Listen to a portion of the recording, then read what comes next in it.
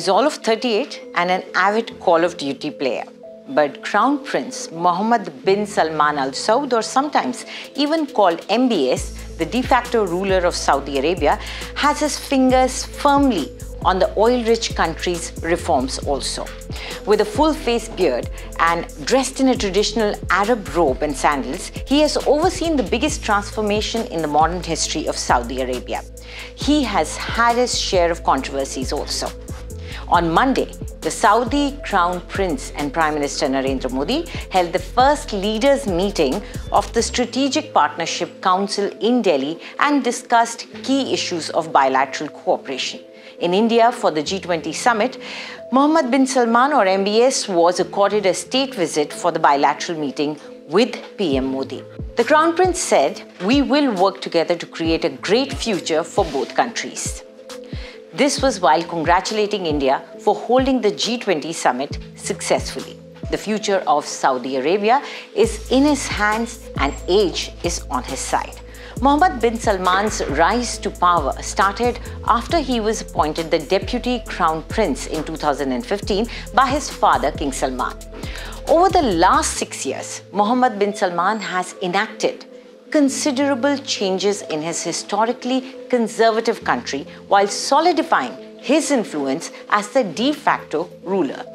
He is a bachelor in law from King Saud University Prince Mohammed bin Salman has pledged to create a more moderate Saudi Arabia and is actively courting foreign investors to back his expansive Vision 2030 plan, which aims to lessen the country's heavy dependence on oil.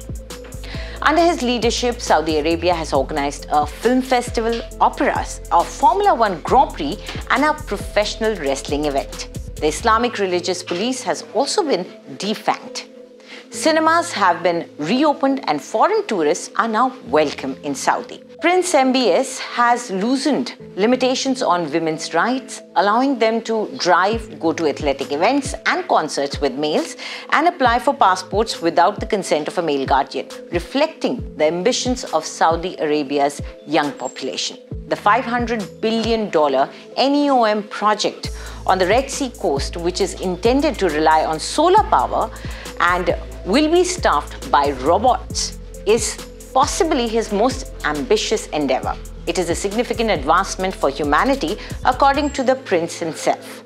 But MBS has come in for a lot of criticism for jailing critics. The purge of the country's elite and the murder of journalist Jamal Khashoggi.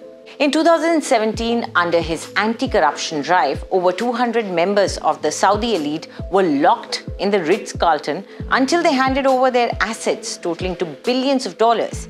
In 2018, Washington Post columnist Khashoggi was murdered in the Saudi consulate in Istanbul, allegedly on the orders of the Crown Prince. However, Saudi Arabia's leadership under Prince Mohammed is favored more by the Muslim majority countries than its arch rival, Iran's.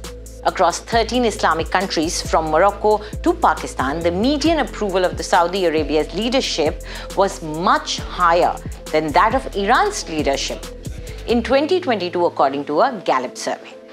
Despite MBS' dramatic role in shaping Saudi policy, the country's economic strategy is built on a set of considerably more conventional and pragmatic rules than flashy futurism. This is according to the Washington DC based Middle East Institute. Riyadh's new plan mostly depends on boosting internal markets. The goal is to raise consumer debt and lower citizens' expectations from the government. Saudi Arabia's authorities seek to develop a service based economy, American style consumption, and a leaner government that is prepared to cut expenditure, sell off assets, and weather a decrease in the demand for oil. Prince Mohammed bin Salman is also a favorite of world leaders who line up at his doors for everything from investment to weapon contracts and currency swaps to increased oil production. The Saudi prince is also known to be a fun loving person with a taste for a rich lifestyle. Prince Mohammed bin Salman is reported to own a $500 million yacht, a French chateau, and a $450 million Leonardo da Vinci painting. He is also popular for treating friends and relatives to lavish roast lamb meals in luxury desert camps. Under this rich and reformist Prince Mohammed, Saudi Arabia will likely see the biggest transformation. King Salman, his father, is now 87 years old. Prince Mohammed will likely be the youngest ever to take the throne of Saudi Arabia. And the Crown Prince already has a firm grip on the day to day affairs of Saudi Arabia. He's bound to leave a deep imprint on his country. Do tell us what you think about this video in the comment section. And for more news updates, subscribe to India Today.